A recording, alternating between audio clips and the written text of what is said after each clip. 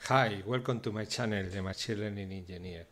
In today's video, we continue with the series Microsoft Artificial Intelligence and, ML. And in today's video, we will look at TensorFlow integration with ML.NET uh, framework.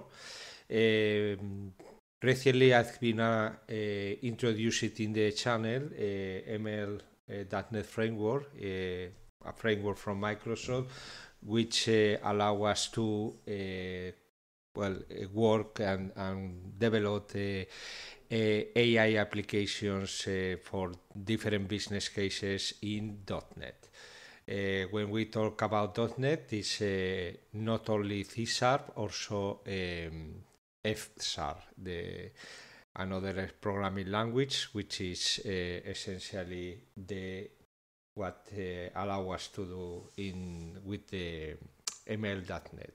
So ML.NET is uh, is a complete framework uh, which, as you can see on the screen, allow us to to create applications fully integrated uh, uh, in the Microsoft Word. But not only Microsoft Word, uh, it's also they are open and by uh, they work with other other technologies via uh, SDK and also uh, able to no, not only work in Microsoft environments, also in Linux or um, Mac OS. This uh, essentially is everywhere where you can run uh, a .NET runtime. It's possible to run an application uh, that you uh, create with the ML.NET framework. As you can see on the screen as well, you can cover different use cases from sentimental analysis to, to forecasting, also to time series forecasting, image classification.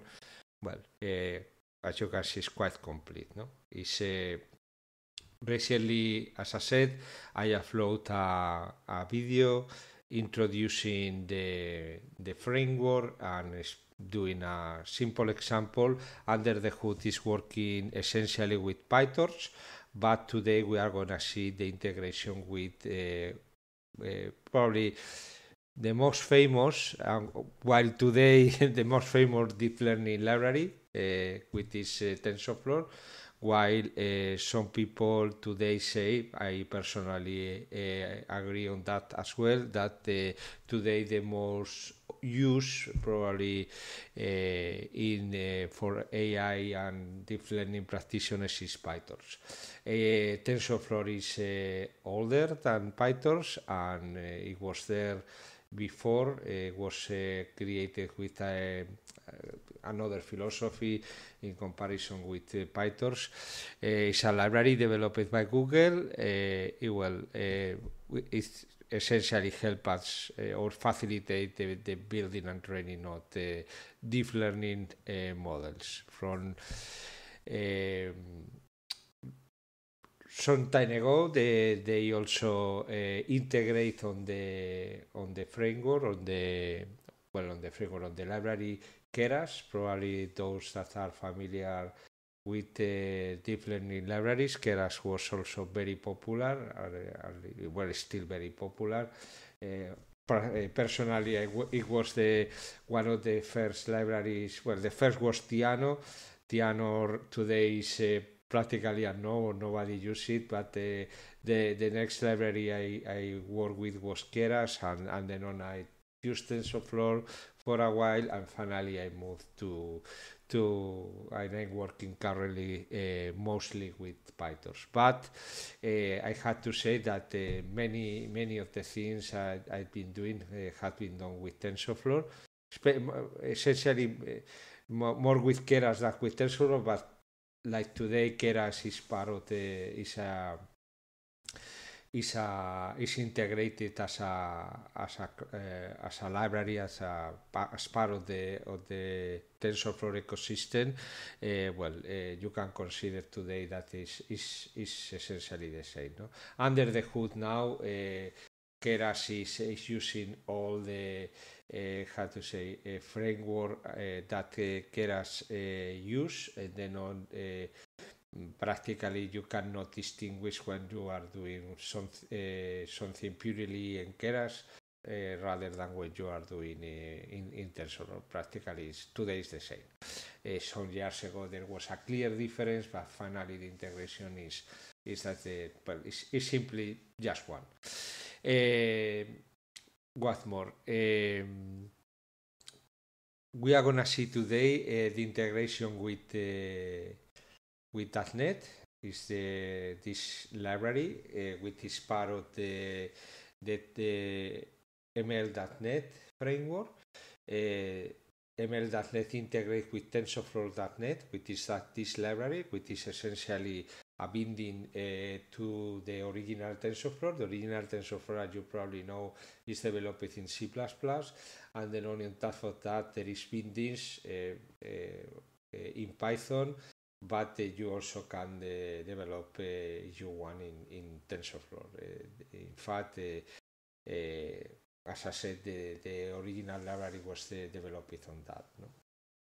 So, what is that essentially? Again, bindings to the original TensorFlow, which essentially is not very different for, to, to what is uh, to what is uh, Python TensorFlow or TensorFlow Python, which is another uh, bindings to the original library. Uh, as, you can, as you can read uh, in the screen, the aim is to complete TensorFlow API. So it's not complete at the same level that is uh, in in Python. And uh, well the, but uh, as you will see later on in the demo i'm gonna do is is really really hard to say. There is a lot of the stuff there uh, so you can you can use it for plenty of the use cases that we we usually use uh, tensorflow in um, in python so as you probably know, if you follow my channel, I'm a Python developer. I, I'm not a .NET developer. I'm just starting for different reasons. I commented several times on the channel. We are, I'm not going to insist. So for what I'm coming to the .NET world. But uh, yeah, uh, for me, um, as I said, is uh, for what I see in the examples I'd, I'd uh, been looking at the last couple of days, three days, I see that there is a very good material here, so something that we had to consider. I, I know very well, and then again for the past three four months I've been doing a lot of stuff not only so with in in Cesar not only with the ML.NET also with the semantic kernel and also with other libraries just uh, coding with uh, for example ONNX coding and transforming some of the models I uh, I had running on on Python, uh, converting them to ONNX and uh, coding the alternative uh, code to do the inference, especially the inference in .NET. And then on this is another library, big library to, to be to be precise. there is a lot of stuff here to to review, and today we are going to see the, the, the integration with TensorFlow. So I, as usual, I have prepared a, a, an example. One example of the integration with the TensorFlow is available on the documentation of the of the Microsoft ML uh, MLNet. Um, um, I need to update some of, part of the code to adapt it uh, because uh, the original code was in .NET uh, 2.1 so I adapted. Uh, it, it, was not very hard. It, uh, imagine I'm, I'm a beginner in .NET and I could do it. So it was imagine the, the grade of difficulty it has but uh, I adapted to uh, .NET 8 and also I use the latest versions of Microsoft ML, TensorFlow and image uh, analytics mo modules and also the latest version of the SCI SAR TensorFlow Redis, which is the distribution of TensorFlow for CPU. There is versions as well as you can see on the documentation uh, for GPU, I just installed the, the version 4. Uh, you can see here there is a, a package uh, for .NET. Is separate package to to um, to work with Keras, with the with the package Keras or Keras flavor, and then you have here other formats. Uh, this is the CPU version for Linux, CPU version for MacOS, and GPU version for Windows. Uh, CUDA and cuDNN required, so you had to have this installed correctly in Windows, and uh, the same but for Linux. I suppose that this is for Linux and also for Windows System Linux. Uh, I will check uh, it is it is like that. But you had different libraries depending uh, which flavor with operating system it is you uh, uh, requires CPU or not requires CPU. Okay, so um, the in my code, the code I will provide later on into the repo. This is the libraries I'm using. Uh, I'm using uh, Visual Studio the 2022, um, Windows 11, uh, and uh, the libraries that you see on the screen together with uh, well together with nothing. Uh, the, that is exactly ah, .NET 8. 8.0. Uh, the, essentially, I, I need to uh, a little bit the code because apparently, for what I understood, not uh, some of the classes changed a little bit, and also it was pointing uh, the paths to a to different places Eh, into the repository and look, uh, making some dependencies that I removed it and to make it work on my local environment. But uh, essentially, here what you what I will upload to the repo is you just well I will upload también the solution file and then only you you just probably need to to change the paths if you wanted to make it work there. So what we have here, we have uh, we are going to do a, a solve a classification problem, the typical classification problem with ImageNet. ImageNet, as you probably know, is a is a deep neural network, convol, uh, computer vision uh, um, deep neural network, which uh, is essentially an image classifier with uh, a head of the, uh, that classified an image ac across 1,000 different classes. This is a very well mature uh, and uh, problem in, in computer vision. Probably you will see in implementations in ev everywhere you go. It's one of the typical examples that you you uh, you present in computer vision. This or MNIST or but here. As you had 1000 classes kind of uh, uh, looks uh, a little bit impressive, but in any case is simply a simple extension to the to the example of the two classes or three classes. It's not more than that. Well we are going to use uh, the model the model is available in in tensorflow hub and also is available in in in Hugging Face Hub and also in Torch Hub, uh, PyTorch Hub, the, the the model through that these uh, libraries have uh, to for do to do testing and to do and to learn with the with the library so as you can imagine this is already even part of the of the TensorFlow ecosystem. You you don't need to uh, how to say to go anywhere to to to create it yourself. Uh, there is the architecture is integrated in the TensorFlow framework and then uh, you just need to instantiate the, the class. You, you, we have here, I, I provide the model as well in format TensorFlow. You have it here, it's, it's a model not very, not very big. Let me, let me show you the model. One second, it will be drop. Where is this? Here is just gonna be a second. Uh, image classification and the model is assets inputs in section yeah the model is 52 megabytes.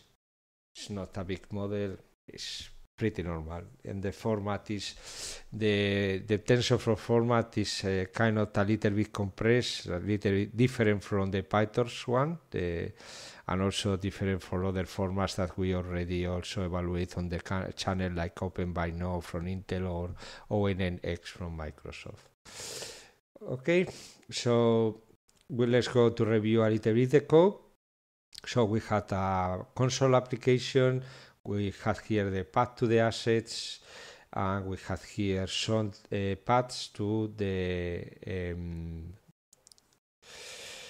to the to the image file. This is the descriptions. Let me check it. We can open it. Uh, one second. I think it's yes. No, this is the classes in TSV. Let me just one second. Okay, no cancel. Let me just close it uh, somewhere. No, remember, okay, one second, I will open the TSV. I don't know if we can open it tax. I don't know. Okay, so let me find it. Uh, where is this? Strings, impose image. One second. Sorry, Don. I, I just find it. I, I was just miss, messing up a, a, little bit the, the stuff. But here, here we had the original uh, tags of the of the images that we had in this data in this uh, in this uh, folder. That is the one that we will do inference with the model. The model we are going to load it with the default uh, weights. We are not going to do fine tuning. We are we are just going to create a, a a pipeline uh, to take these images, which uh, you can see here. These images probably they are weight uh, 800, height 600. As you probably know, the Im- ImageNet network uh, need an input of 224 by 224 with three channels. So we will have to transform this image uh, to be able to use it in the in the inference pipeline. So one of the steps that we will do is open the image and resize the image and uh, standardize the image as well with the mean. Uh, is this the process that you usually do before input any image for image classification in this network. We will we will cover this uh, later on in a, in a second. So we have here the paths to everything necessary. All the labels are in this file all the ImageNet labels, uh, ImageNet, as you can see here, 1000 labels. There is 1001 because we have a, a, label on the top. It's just to create like a, a header for this file. But uh, well, we have all the labels to later on map the the logits and the the positions of the vector, the output vector to the classes. Also the model here, the path of our images, and the uh, um, true labels of the images that we had on the folder. We create an object of TF model scorer, or scorer, uh, which is the class that is defined with uh, all the logic to do to load the model and to do the inference. Let's go to review this. Uh, class TF model scorer. So in our init, uh, simply we just uh, create the context and we have uh, the settings as you, can, as you remember 224 by 224 117 and channel last equal true we had uh, the input tensor name, the, the um, activation layer is going to be softmax 2 in this case. And they had, when we call here on the main, we create here the, the object. And then on, once we have the object, we call model score. Not simple than that. and calling to model score, what we do here is loading the model. If you go to load the model, is this method. We took, uh, we write in the in the console some some information, the location, the default parameters. The default parameters are here in this public structure inside the class. Height, mean, width, location folders and data location, model location, image folder and training file. So here we just simply uh, well here just to show you uh, probably to watch the previous video where I introduced the MLNet uh, framework. Probably you hear me uh, when I commented that the implementation of in that net of of, M, of this library is very similar, or the approach they follow is very similar to what we do in Spark. In Spark, uh, using the library MLlib. And for those that are familiar with this library and they uh, make some some stuff in in Databricks or or in uh, Spark, Apache Spark, they probably recognize what we are gonna do here right away. In the previous video, the pipeline that we had created had practically no transformation, only uh, because the data frame was clean already.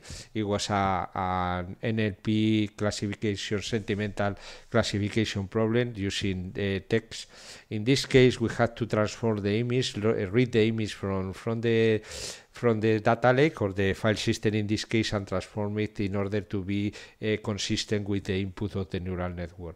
In this case, we had to create a pipeline, a transformation pipeline in this this uh, transformation pipeline, the, the latest transformation is connected, the output of the latest transformation is connected with the input of the model, and the whole transformation together with model is what uh, we uh, usually do in, in, in in the using the library MLlib and it's how we create a prediction pipeline or a training pipeline. The later depending what the what you are doing. Uh, if you just simply train the model, uh, that's fine. If, if, if you don't um, do prediction, you stop there. But if you do prediction, like in the case that we are gonna do uh, now, uh, you need to to for if you do training, you need to you need to do these transformations, and you create a you, usually during the the training you are creating a data frame. Uh, you you add uh, new columns to the data frame to the uh, where you you had the the the uh, the values of the that you are getting during the validation and later to this data frame you add the predictions when you, well when you do the validation no, of the of the training process.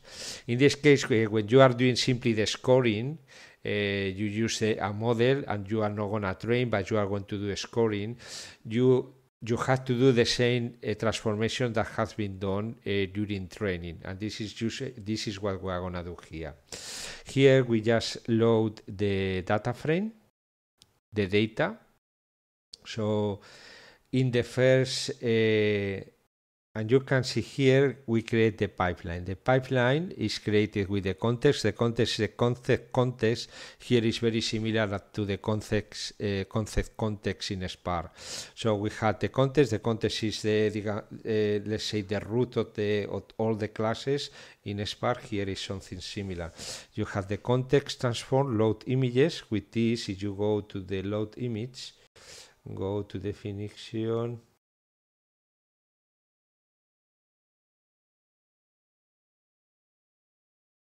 okay this is there here we, we essentially are loading the classes eh? you can see here.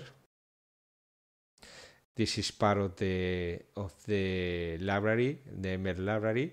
So we are just this is just a component of the pipeline. And then on the component is just taking uh, so this component is taking ImageNet data with this, this structure, ImageNet data had uh, two columns, or two attributes, image path or label. And if you remember, uh, this image path and label is coming from here. Sorry. One second. So exactly, yeah. Uh, the first step is loading the image. The loading the image, we are going to use the data frame that we are creating here. The data frame uh, is pointing to this structure, ImageNet data CS. ImageNet data CS is just containing a, a, um, a method, uh, read, read from CSV, and two fields, image path and label. If you go here, we are using as an input, the input name of, the, of this uh, uh, step in the pipeline is taking the image, image path and assign it to the input. The next, we add a second step, which is resizing the image. And resizing the image, we are taking the input column name is the output of the previous step, and then we are taking as well as parameters the ImgNet setting, height, and, and width. And the output of this process is going to be as well the, the column name input, put it in again in the column input. We open a new uh, transformation, extract pixels. Now we are going to load really the image uh, and uh, inter, extract, convert the image to an array and apply the, the mean. And the last uh, uh, step in the we append to the pipeline is load the model. And this pipeline is going to take one image by one eh, uh, to the uh, every image that we pass uh, to this pipeline is going to pass to these processes. First of all, go to the DIGs, localize the image, resize the image, extract the pixels, and pass into the model. Here, as you see, we load the model and we apply a score tensor TensorFlow model. So we are going to do a scoring. What, how apply, so we will apply this scoring to the output column name of the lat latest state on the pipeline. So the input, which is the output uh, of uh, applying the strat pixel uh, transformation to the to the previous steps, and we will pass the this output of the start pixel to the softmax, and then we will put this again on the uh, input column.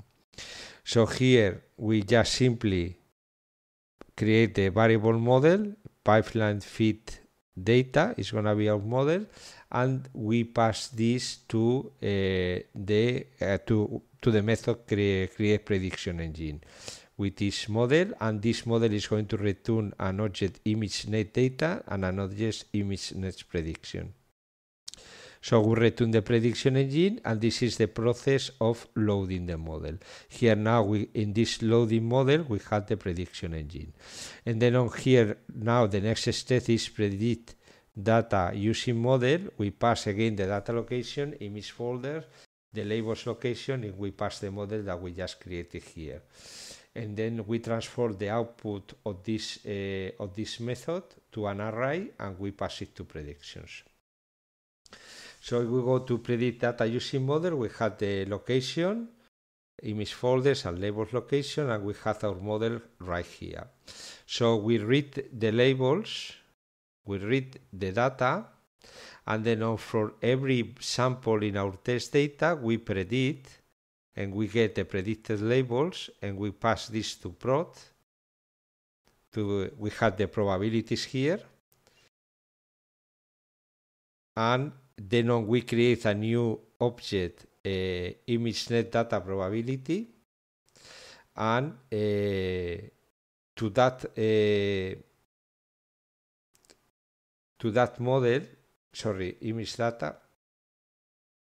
Exactly. Uh, we create here uh, a new a new object image new uh, Im image new data probability. And here we just simply add, um, um, assign to this variable the sample image path and the labels uh, and the label sample to the uh, variable label and then on we pass uh, to the object with in model helpers now we will go to to look at the label and the probabilities. And we the output of this model we apply to image data predicted label image data probability. And once it's done we uh, write into the into the DIGs uh, image data console If you go to the ImageNet prediction CS,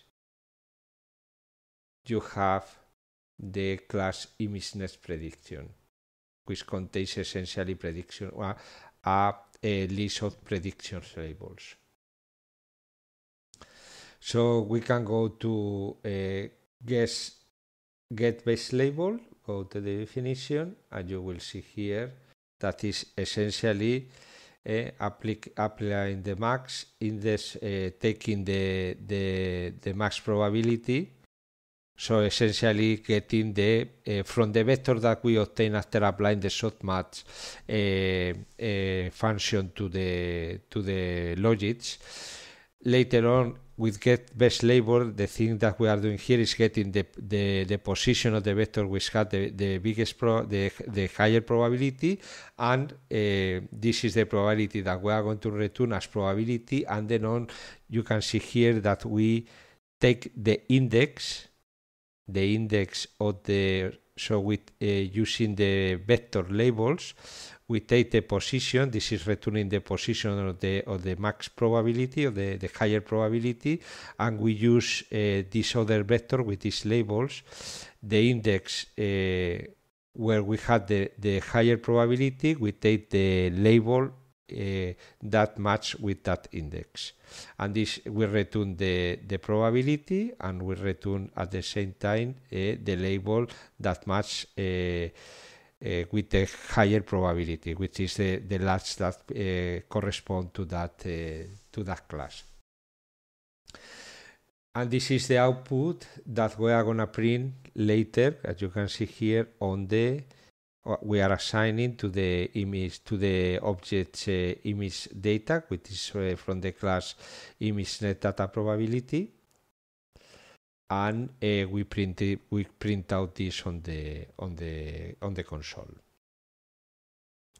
And that's it. Than simple than that. Uh, we are going to to we once we instantiate the model we create the transformation pipeline and transformation and inference pipeline. So our prediction engine we just iterate through all the examples that we have here in this in this uh, folder Let's do an, a, a run.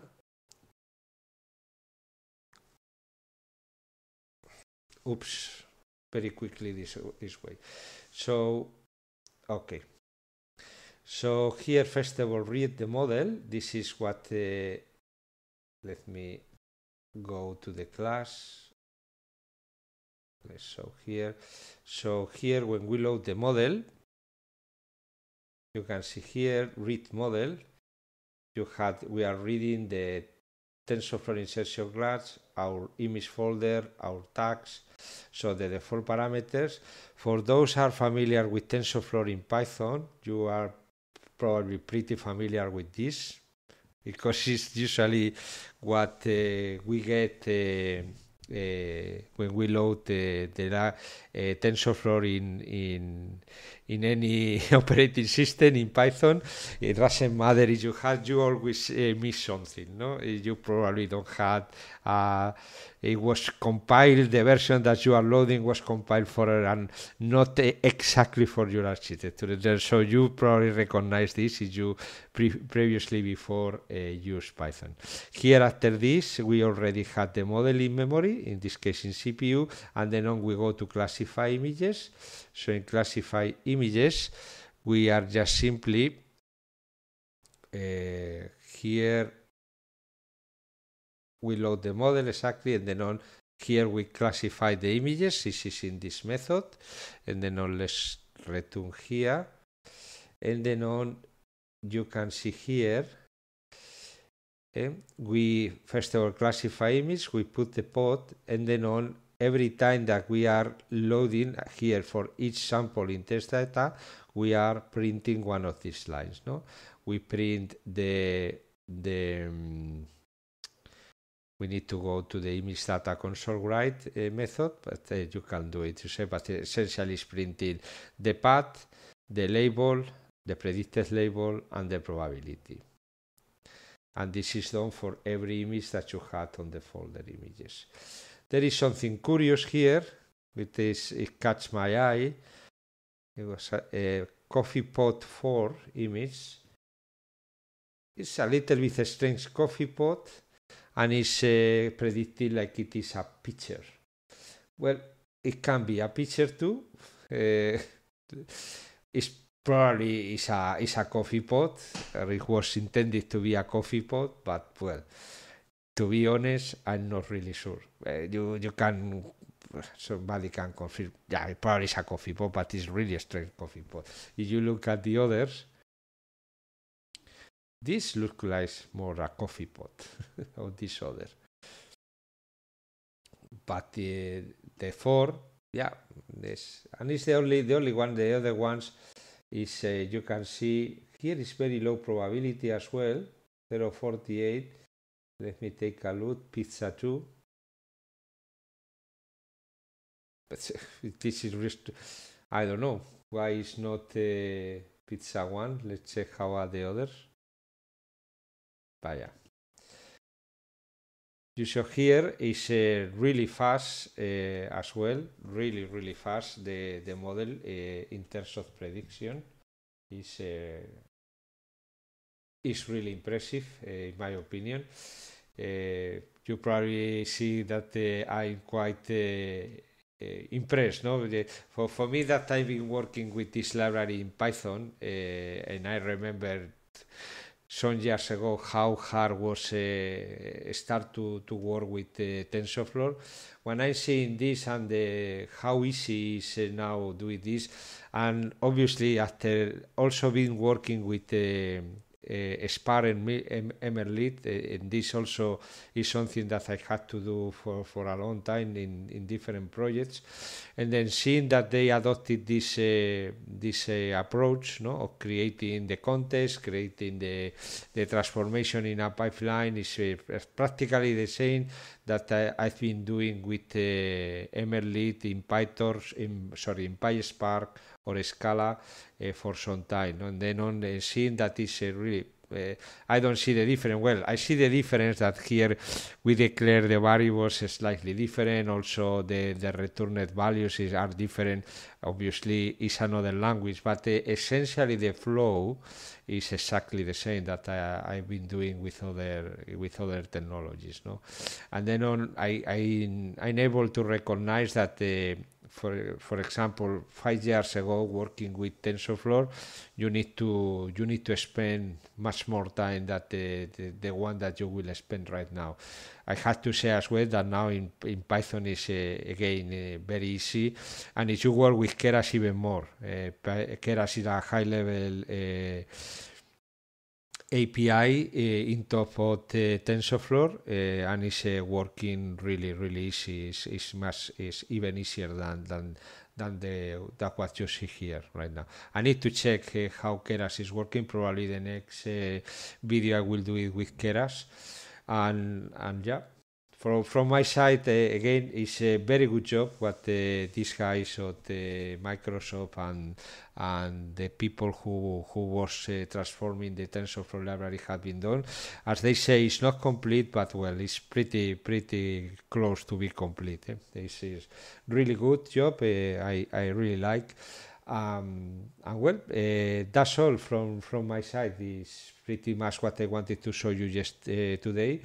Um, and well, I will upload now all this stuff to the repo uh, to you be able to to you replicate it on on your local environment. Again, uh, you had all the information here that you need. Uh, I will include the. let me finish the the book process.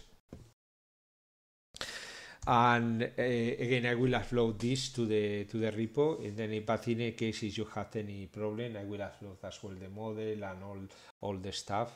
Uh, just if you have any any problem let me know. Uh, I will as I said you can you can write me on the comments of the video of the video this video uh, and, and it uh, if it's possible well I, I will try to to help you uh, to the best of my knowledge especially considering that I'm not a, a professional developer in in C sharp. I'm as I said I'm, I'm working in Python 99% of the time Python or PySpark. So here is a, a new world but well I, I really understand everything that is done even in, in another language because it's pretty similar as I mentioned you before.